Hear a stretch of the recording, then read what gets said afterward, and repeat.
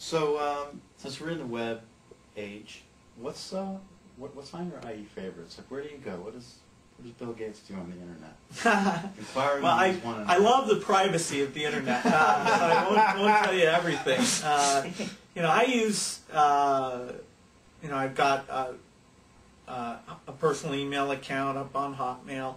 I'm out, you know, Engadget's, a place where I learn, learn a lot of stuff, news.com.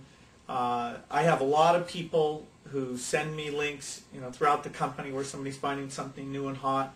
I did a review recently of all the video sites out there, and it really blew my mind. You know, I knew about a few of them, but you know, there's dozens and dozens. The whole idea of video on the internet, which we started betting on with our uh, Microsoft TV thing way too early, over 12 years ago.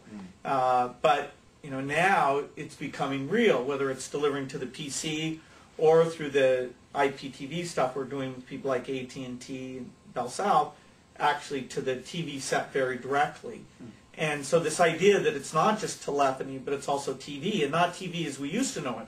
TV with interaction, personalization, you know, without this channel concept, with a total choice of what you want, including, you know, the physics lecture that you're the only one who cares about, or the local high school team that, you know, very few people would want to watch. It, it's a revolution. And so I try and go to a lot of those websites and, and get a sense of, you know, how that's changing. Uh, you know, when will video be a, a very big part of the experience?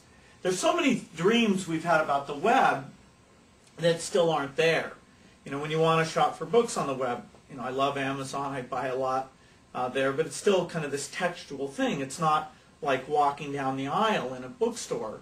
Well, there's no reason that that we have the richness to do that kind of visualization. It's a small software problem there. So finding those avant-garde websites that are, are starting to play with that, even though a lot of them won't, won't be there forever, is uh, something I try to get in my experience.